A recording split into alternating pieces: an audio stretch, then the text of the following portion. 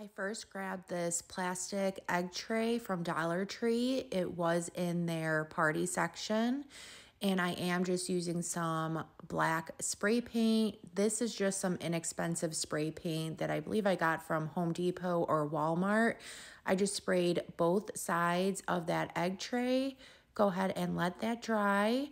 I then got these plastic eggs also from Dollar Tree for a base coat, I will be using some Waverly chalk paint in the color plaster. The reason I'm using chalk paint rather than acrylic paint is because these are plastic, so the chalk paint will cling better to these eggs rather than acrylic paint. So you want to just paint 14 eggs with two coats of the Waverly plaster and then allow everything to dry. Once those are dry, now I'm using two different colored acrylic paints. One is in the color Moccasin Brown. The other one is in Latte. So now you want to just paint all of those eggs, seven in the Moccasin Brown and seven in the latte with two coats and then allow that to dry. I then got this image off of Google, just Google farm fresh eggs and just print it out using your regular printer. In the center of that egg tray, I'm just going to put a generous but even amount of Mod Podge.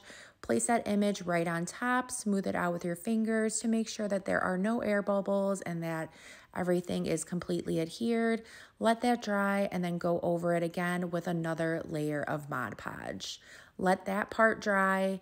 And now I'm going around the cut edge of that image because I wanted to hide it with a little bit of Mod Podge and then I'm just going over it with some cinnamon. Dab that cinnamon with your fingers to make sure it is adhering to the Mod Podge. Let that dry and then go over the dry Mod Podge and cinnamon with another layer of Mod Podge to make sure that cinnamon is all adhered. Next, I got some Spanish moss, also from Dollar Tree. And I'm just going to begin hot gluing the Spanish moss in between each of those egg trays. And using a finger protector always helps. I got that pink finger protector also from Dollar Tree. Next, you want to just grab your painted eggs and just start placing them all inside of the trays. And I am interchanging the colors. I didn't want two of the same colors next to each other. Once I had all of those put down to where I want, I just began hot gluing those so that way they don't fall off of the egg tray. And just look at how cute this is. I love it. Next, I'm just creating a bow using this red and white buffalo check fabric. Just make an awareness ribbon out of it, scrunch it up in the middle, and then I'm just tying it off with another piece of ribbon. So I originally had 15 eggs on here, but two of them were the same color right next to each other.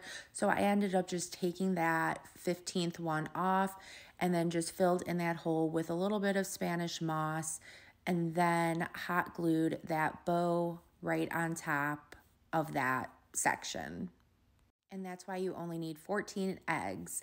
And there you go, guys. I think this came out so adorable. I had so much fun creating this. I hope this inspires you to create your own in your own special way. If it did, please be sure to sprinkle the love. Thank you so, so much. And I hope y'all have a good rest of your day. Thanks. Bye.